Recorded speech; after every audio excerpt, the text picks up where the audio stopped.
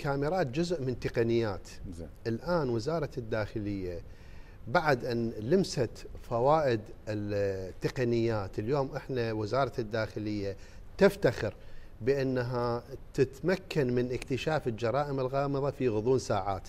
زين.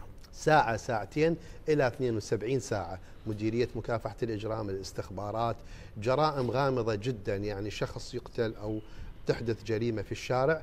وبعد ساعات يروحون إلى دارة. هاي من خلال التقنيات سواء كاميرات المراقبة وتتبعها أو من خلال آه، الاتصالات والاستمكان من خلال أجهزة وتقنيات الآن وزارة الداخلية ولجت لها بشكل اعتمدت عليها اعتماد كبير ابتداء من الحدود العراقية اللي الآن تعتمد التقنيات والكاميرات الحرارية وغيرها وفي كل تشكيلات الوزارة.